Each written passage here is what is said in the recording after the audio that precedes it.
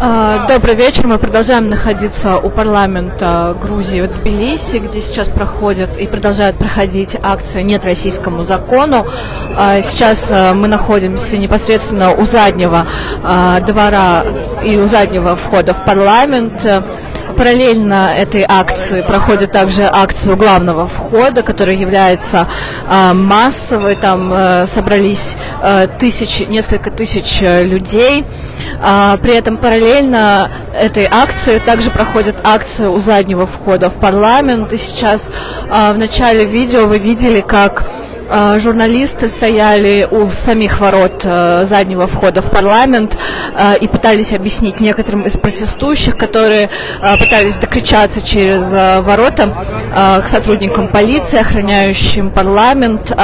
Некоторые группы лиц протестующих пытались кричать туда, бросать помидоры, обращаться к полиции и к охранникам самого здания парламента. Журналисты просили их этого не делать. А, нужно добавить, что за несколько а, часов до начала акции а, полиция была полностью убрана от всех входов в парламент. Стоит отметить, что до этого, например, на акции в понедельник и во вторник э, полиция в большом количестве охраняла все и боковые, и задний вход в парламент. Было также много полиции у э, самой акции, где стояли, стояло большинство людей. Но сегодня, видимо, грузинское правительство решило выбрать другую тактику. Сам, э, во время начала акции вся полиция отошла от здания парламента. Сейчас э, рядом с парламентом находится буквально несколько патрульных машин, э, у которых стоит по одному-два полицейских. При этом э, вся основная часть полиции сконцентрирована у администрации правительства, которая находится э, поблизости к зданию парламента. А, также мы можем говорить о том, что а, несмотря на то, что самой полиции у здания парламента нет, а, мы знаем о том, что мобилизированы машины с водометами, машины с ультразвуком, которые применяют э, спецназ для разгона акции. Так что возможно, что если будут какие-то провокации, то будет э, применена вот эта машина с водометами и ультразвуком.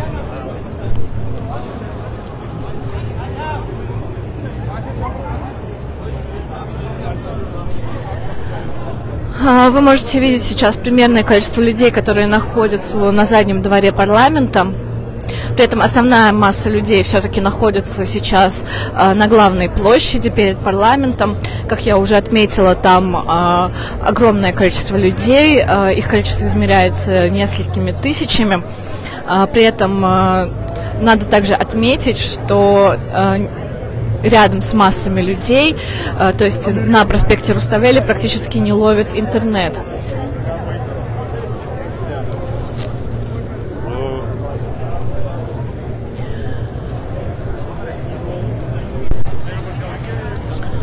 Массовость сегодняшней акции, конечно же, вызвана тем, что сегодня э, днем, около трех часов дня, парламент Грузии э, принял в первом чтении законопроекта о прозрачности иностранного влияния. Это было встречено максимальной критикой со стороны э, гражданского общества и в целом критиков этого закона.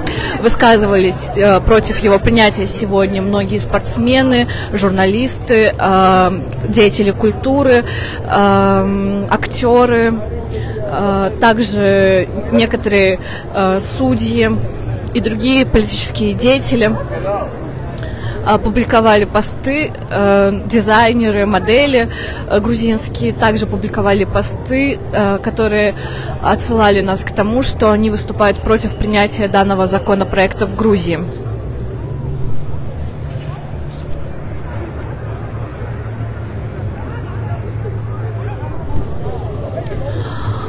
При этом а, буквально полчаса назад примерно организаторы акции сегодня, а, которая проходит внизу у главного входа парламент, заявили о том, что они дают грузинскому правительству около часа для того, чтобы отменить его принятие.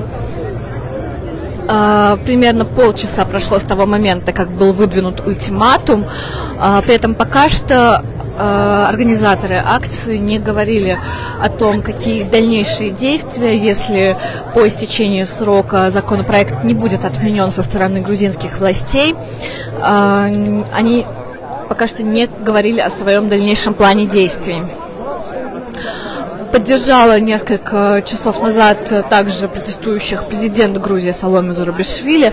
Она, во-первых, конечно же, сказала о том, что э, наложит вето на данный законопроект, но при этом она подчеркнула, что, конечно же, э, депутаты грузинской мечты обладают достаточным количеством э, мест в парламенте, чтобы преодолеть это вето.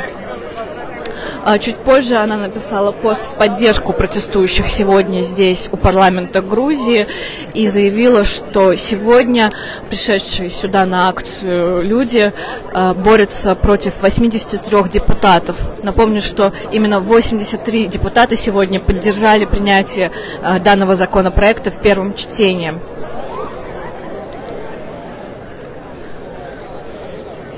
При этом э, стоит также отметить, что против данного законопроекта э, никто не проголосовал, так как оппозиция и выступающие против его принятия депутаты э, отказались голосо э, голосовать за него.